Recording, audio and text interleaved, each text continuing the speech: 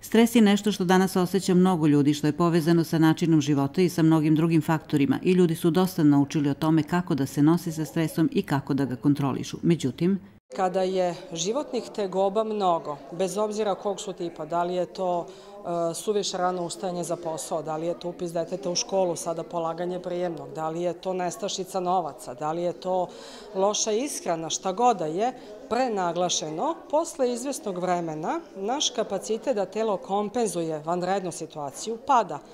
I ono što e, je tema današnje priče u stvari naša reakcija na stres. Stresa će uvek biti, ali kako da, ga, kako da iskontrolišemo našu reakciju, kako da povećamo svoju moć adaptacije, kako da nas stres zdravstveno što manje košta.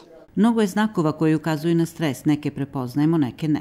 Mnogo je znakova od toga da e, kod nekih ljudi bude nemira, bude anksioznosti, lošeg sna, hormonalnih problema, lupanja srca, tikova, problema sa varenjem, na duže staze se razvije problem sa imunitetom, da znate da faktički u svakoj alergiji, u svakoj autoimune bolesti uvek ima komponent, komponente stresa.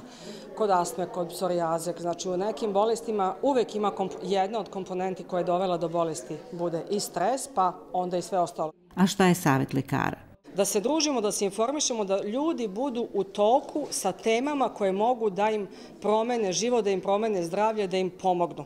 Znači da budu informisani sa stvarima koje mogu da im učine dobro. Na temu stresa bilo je dosta pitanja, pa je očigledno da se radi o zdravstvenom problemu koji je vrlo raširen i čije rešavanje počinje obraćanjem lekaru i prihvatanjem saveta i promene načina života.